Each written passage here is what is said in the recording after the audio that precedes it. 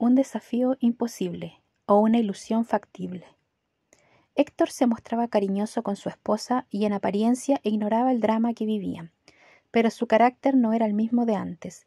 Había perdido su espontaneidad y parecía un poco y parecía poco motivado para todo. Sus días pasaban como rutinas de deberes que cumplir. Cuando Yoconda le habló de la posibilidad de integrarse a un grupo de trabajo sobre el SIDA, la escuchó con notorio escepticismo y de a poco le fue argumentando sus apreciaciones. Mira, Yoko, es muy poco lo que un grupo de bien intencionadas personas puede hacer. Este es un problema mundial que ni las máximas autoridades han podido controlar. Por eso se sigue extendiendo por todas partes, incluso en las principales potencias. ¿Acaso Estados Unidos no tiene dinero, ni Alemania ni otros? Deja este asunto a quienes corresponde, a las autoridades. Ellos tienen el deber de asumirlo y los medios para hacerlo. Ese es el problema, Tito.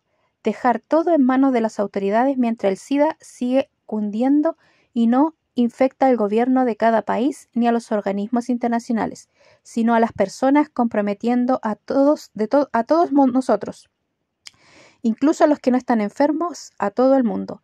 No ha habido ninguna epidemia en la historia que haya sido controlada solo por las autoridades. Todos tenemos la obligación de contribuir con el cólera. Ha habido mayor compresión y colaboración con el SIDA, en cambio todavía hay mucha indiferencia, la gente no tiene claro cuáles son los verdaderos riesgos y cómo prevenirlos. Falta mucho por hacer. La gente piensa que es algo ajeno, algo a lo que uno mismo no está expuesto. Si tú lo deseas, yo no te voy a prohibir, pero no creo que sirva de mucho. Es posible que no logre nada, pero estaré más conforme conmigo misma si lo intento. A partir de entonces, un casi imperceptible cambio empezó a gestarse en Yoconda.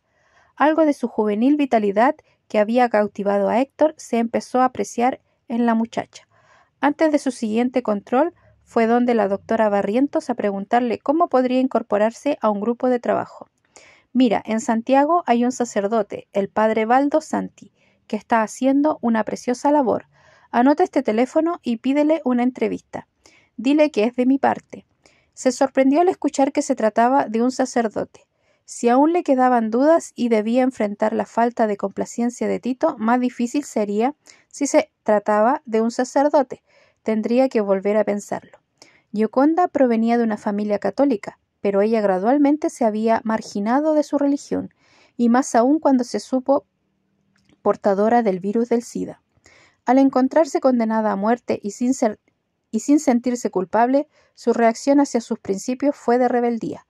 Luego, al percibir otros valores que le presentaron una, visión diferente de sus motivaciones, había vuelto a mirar hacia su religión, que al menos le ofrecía una esperanza que la ciencia era capaz de entregar, incapaz de entregar.